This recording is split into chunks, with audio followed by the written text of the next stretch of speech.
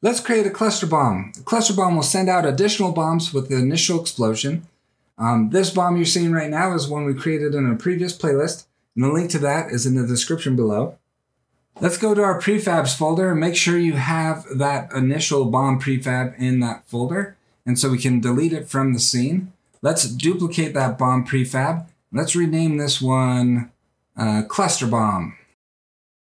Okay, let's go to our scripts. Let's duplicate this explosion script and let's rename it to cluster explosion.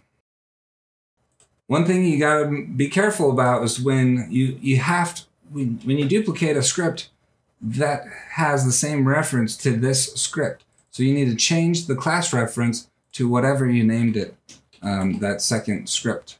And I named it cluster explosion, so all the errors went away because I capitalized everything and spelled it correctly. As you can see, the error went away. If we go to our prefabs, let's just already go into the cluster bomb. Let's lock it and make sure we drag in our cluster script onto the game object instead of this explosion one. So let's remove this one, remove component, and add our cluster explosion. There's a couple fields we need to populate. This bomb field, which is our bomb game object. Uh, we can go to the prefabs folder and drag in cluster bomb. We can then go to our particle pack where we got the effect from in the fire explosions folder in their prefabs folder big explosion, and drag that in. Let's go back to our scripts folder and go into cluster explosion. Okay, let's think about really quick what we want to create. We want to have three additional bombs get added when it explodes, and then we want those bombs to get sent off by the explosion effect. This is our explosion right here, uh, the explosion force, and this is our um, visual fire effect. So let's let's just copy this line right here. And instead of adding another explosion effect, let's add our bomb game object right here. Make sure it's highlighted and type bomb. If we see what that does for us, we, uh, we can go ahead, go to prefabs, make sure it's your prefab folder. Drag in cluster bomb and let's drag it over a little bit. Let's also change the ground to, oh, I need to unlock this. Let's change the ground to 10 in the X and 10 in the Z. Let's hit play.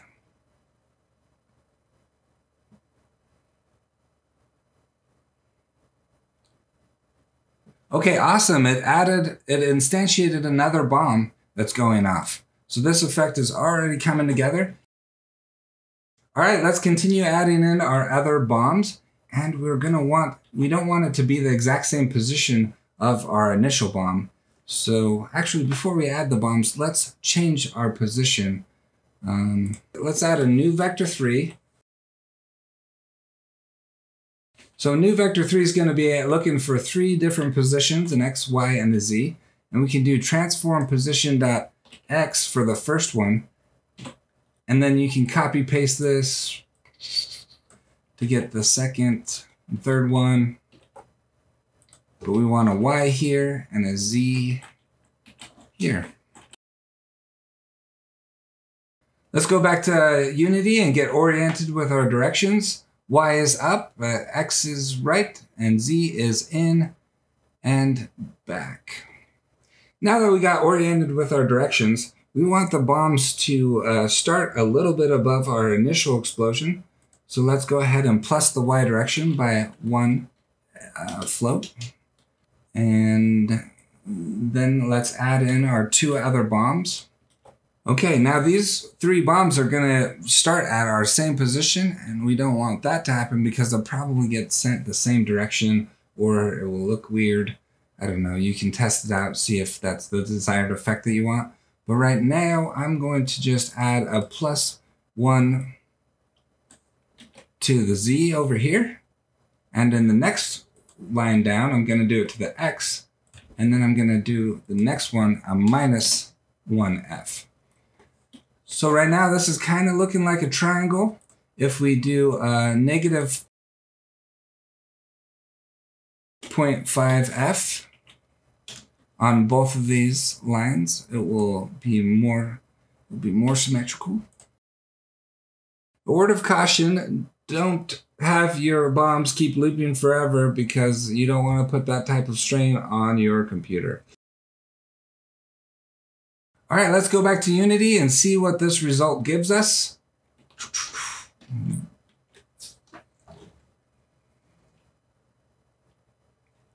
Cluster bomb is already in our scene. I'm dragging it in earlier. If we hit play,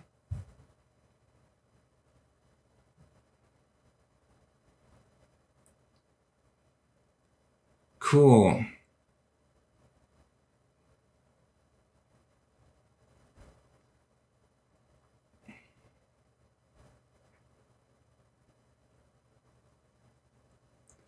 That's a pretty awesome effect. If you think the bombs go too early, you can always um, put it after or make the explosion bigger so that the bombs actually start in the explosion. And I'm going to turn this off before my PC blows up if it didn't already.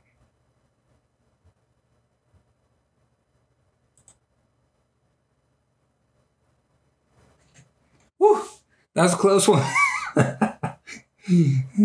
so right now the bomb is it's on a continual loop where it keeps creating this cluster bomb effect. And uh, there's a pretty easy fix to it, but uh, it's, it's kind of funny. It's kind of awesome. Um, let's go ahead and fix it. And this is uh, one of the reasons why you, you always want to create something new when you're going for a new effect. If we, instead of dragging in cluster bomb here, if we drag in the bomb prefab that has that other script, it should just blow up once.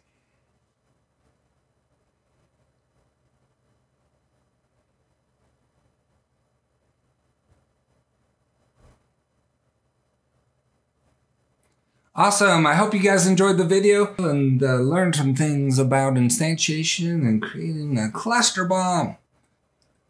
So on the energy explosion, I didn't turn off looping. That's why they're continuing to explode. And that energy explosion is kind of a little wussy against the white background and it's small. All right, I'm to try one more. I want to do this goop effect. Let's drag in goop effect. I don't know what the goop effect is, but we'll see what it looks like.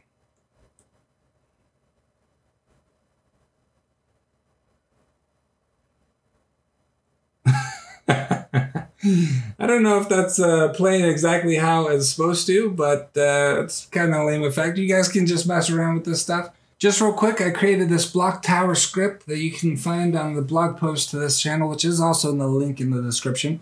But uh, they're going to create blocks on top of each other, on top of these other blocks. And I want to see what this does. Ooh. All right, the towers are building. They're going to get knocked down. Cool. The launches, I also boosted the power a bit on the bombs.